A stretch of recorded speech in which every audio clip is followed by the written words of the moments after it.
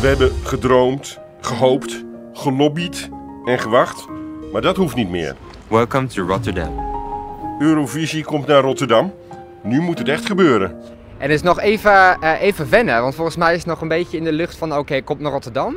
En nu moeten we allemaal aan het werk en heel veel toffe dingen gaan bedenken met z'n allen. Nu, nu moeten we met z'n allen aan de slag. Want anders dan, eh, staan we natuurlijk voor joker. Het is wel voor het echtje nu. Nu gaan we, nu gaan we ervoor, ja. Nu gaan we, eh, nu gaan we uitpakken. Uh, willen we ervoor zorgen dat het feest echt in de stad breed gevoeld gaat worden en breed gevierd gaat worden. Dus van alle Rotterdammers wordt dat. Van alle Rotterdammers. Oké, okay, een feest voor iedereen. Maar zijn er al ideeën?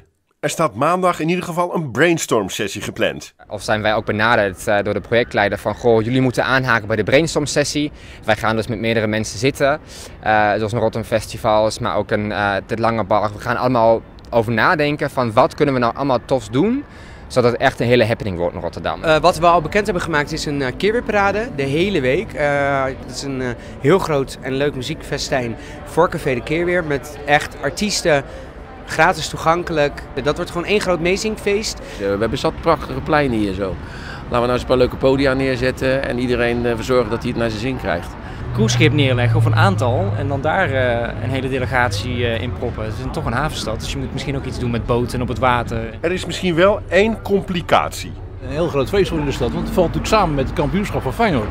Dat is, geeft voor de stad wel wat problemen, denk ik, maar het zal wel een heel leuk feestje worden met elkaar.